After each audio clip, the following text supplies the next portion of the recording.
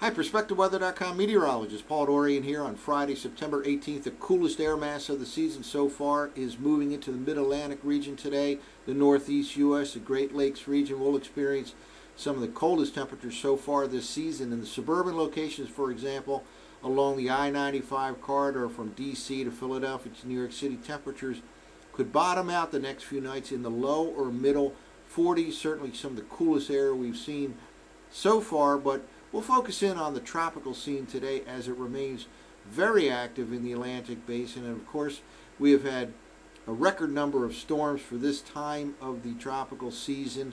And someone put together this, this map from the Philadelphia National Weather Service office, which is located in Mount Holly, New Jersey, with the uh, first letter of all the storms this year. And we are all the way down to W. The next one will be called Wilfred. Most likely the one over the southwestern Gulf of Mexico right now will become a named tropical system. If so, it would become Wilfred. After that, we go to the Greek alphabet because we are running out of names. We only go down through W in the uh, alphabet list. The last time we had to go to the Greek alphabet was 2005. We'll have alpha, beta, for example. This uh, particular map shows the uh, first letter of the named system at the end of the storm track. For example, Hanna ended up dying out over Mexico after taking a path like this. And this just shows all the different spread all the way from the west coast of Africa. V here represents Vicky. And the very first storm of the year, a long time ago, was this A storm Arthur, which ended up developing east of Florida and then head, headed towards the Outer Banks and died out over the western part of the Atlantic. So yes, a very active season in the Atlantic Basin, especially in terms of number of storms. Again, the next name system will be Wilfred, and then we'll go to the Greek alphabet after that. Now we often talk about the accumulated cyclone energy. It's an index used to really measure tropical activity in the Pacific Ocean, in the Atlantic Basin, wherever. And it's uh, probably the best way to measure overall tropical activity because it takes into account not only the number of named storms, but the magnitude. So it, it takes into effect the intensity level and the duration uh, as opposed to just counting the number of storms because some of the storms that have been named this year in the Atlantic Basin have been rather short-lived and rather weak, only reaching tropical storm status, for example. We've had only two major hurricanes.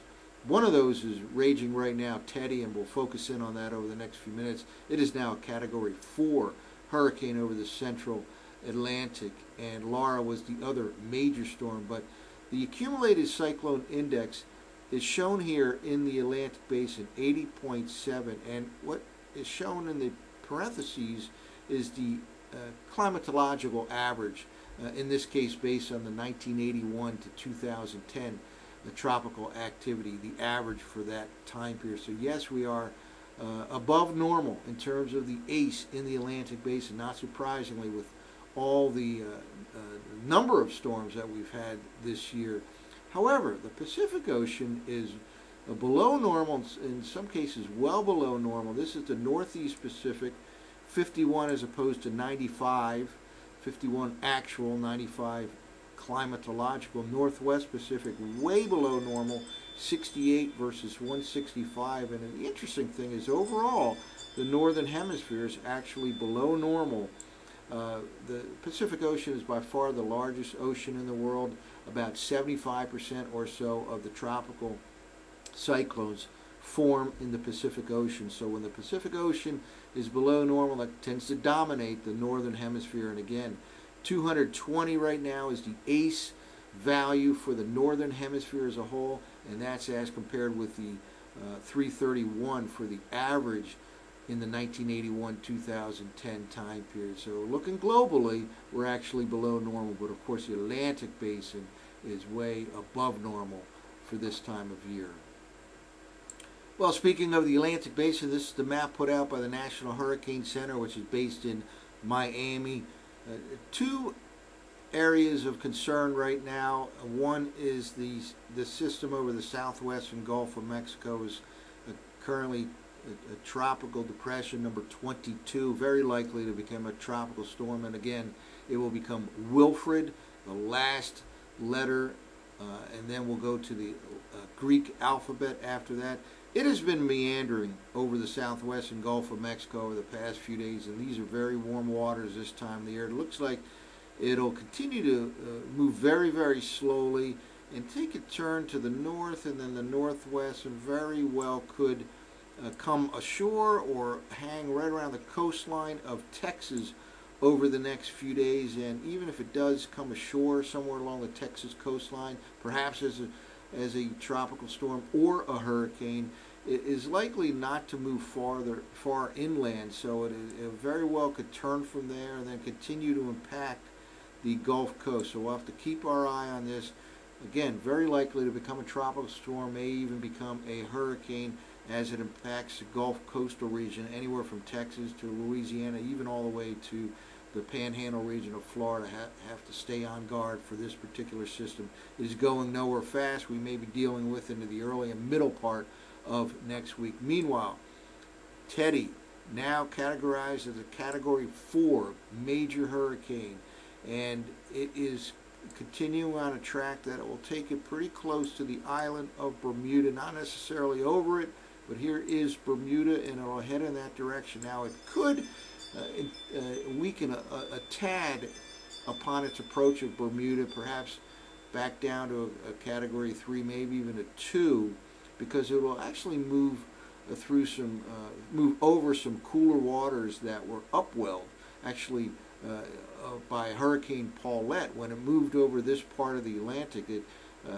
caused some churning in the waters, brought some cooler water from beneath down to the surface, and that indeed could weaken uh, Teddy before it gets too close to the island of Bermuda.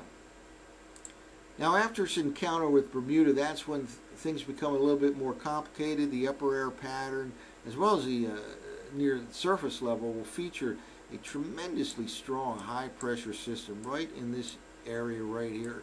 Uh, southeastern Canada, it'll uh, we'll see it on the surface maps in a moment here. It will be a a very, very strong and expansive blocking type of high. So when Teddy bypasses Bermuda, instead of continuing on a northerly track, it may start to turn to the north and west as it interacts with that strong high pressure system, perhaps ultimately having an impact on Nova Scotia, which is located right here, maybe even uh, Maine, New Brunswick, certainly in the threat area, right in this region right here, Nova Scotia, Maine, New Brunswick, all as a result of this blocking high that will be situated over the southeastern part of Canada. Again, it'll uh, move northerly for a while and then start to turn to the north and west and uh, a potential impact, let's say around Tuesday or so of next week in northern New England or the Canadian Maritime provinces. Again,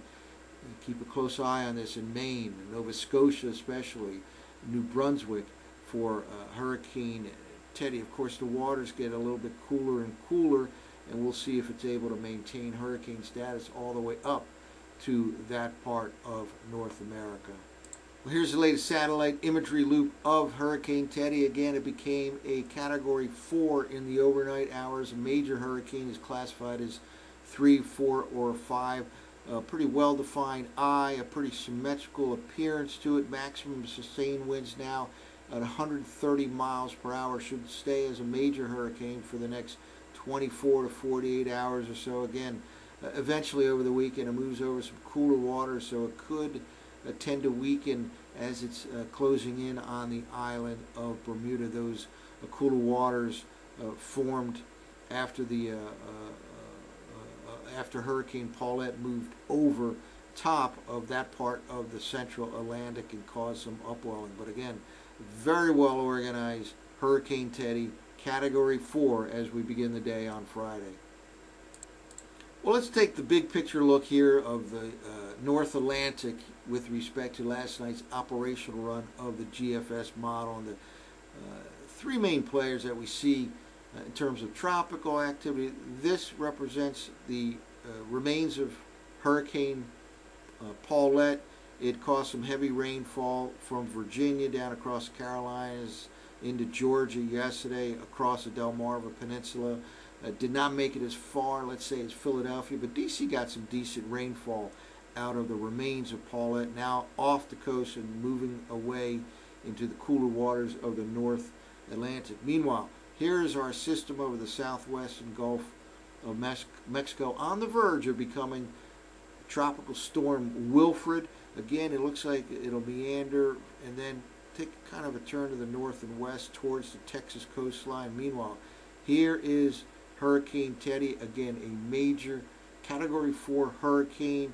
This morning, island of Bermuda is located right at the tip of this arrow here. It'll head in that direction and then ultimately take a turn north and west towards Nova Scotia, Maine, New Brunswick. Let's move forward now here and watch the next couple of days. Here we are now into tomorrow morning, Saturday morning. Still, system tropical depression number 22, I believe it was, meandering over the western Gulf of Mexico. Here is Hurricane Teddy, and you notice it uh, did not really intensify. In fact, it may have weakened a millibar or two in this 24-hour period. Again, it'll be kind of heading towards some slightly cooler waters in the Atlantic here we are now, tomorrow evening, Saturday evening, and look at this expansive high pressure system. 1031 millibar low over southeastern Canada. That is the anchor for the cool air mass, the coldest air of the season so far. Uh, that's pouring into the Mid Atlantic region today on strong northwest winds, the northeast U.S. Great Lakes region. This is your blocking high, a very, very expansive high pressure system that ultimately Teddy will have an interaction with and again, it'll uh, probably cause a shift from a northerly direction to northwest, and that uh, bodes uh, trouble for places like Nova Scotia, maybe Maine and, and New Brunswick as well. Let's move forward here and notice here by Sunday morning, now this system is on the verge of uh, impacting or uh, making landfall perhaps in the Texas Gulf coastal region, tropical storm, maybe even a hurricane. And here comes Teddy undergoing a few millibars of weakening at this time from its peak over the next 12 to 24 hours. And here's that strong high pressure system as we begin the day on Sunday. And again, next few nights in the mid-Atlantic region could see temperatures, at least in suburban locations, down to the low or middle uh, 40s. Now let's move forward here. Notice starting to move north or even northeast, but then it starts to interact with that high pressure system and it tends to turn to the northwest. And look at this, a 948 millibar low uh, by uh, late Monday night, early Tuesday morning. Here is Maine, here is Nova Scotia. This is certainly a concern, a concerning weather map for Nova Scotia. And maybe Maine and New Brunswick as well, but Nova Scotia is the first uh, land area that it could have an impact on uh, in, in terms of Hurricane Teddy again, taking that northwest track at this time as it's surrounded to the north and west by high pressure. Look at this high pressure over the uh, eastern U.S., high pressure over the North Atlantic. There is this blocking high to its north and west, not allowing it to really continue on a northeast track out into the open waters of the North Atlantic, but instead turning to the north and west and eventually it could uh, very well impact uh, Nova Scotia, Maine, and New Brunswick.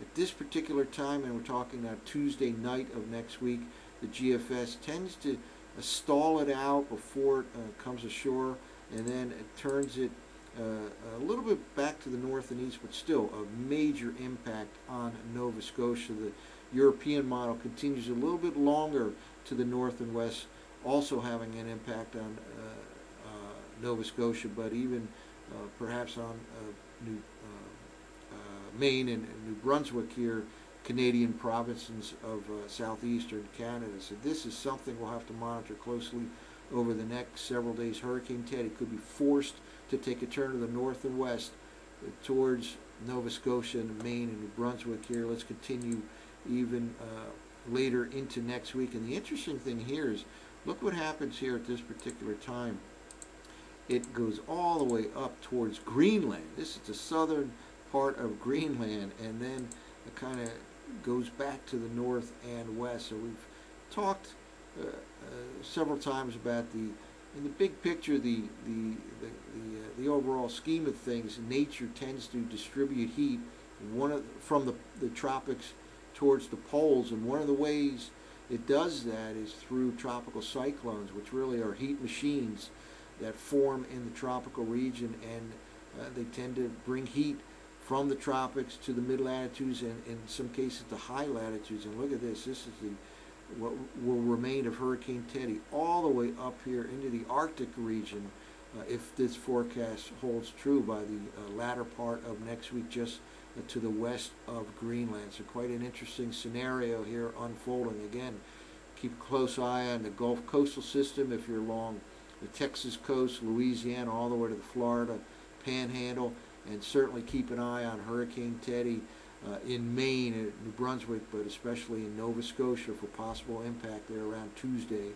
or Tuesday night of next week. That's it for now. For PerspectiveWeather.com, I'm meteorologist Paul Dorian.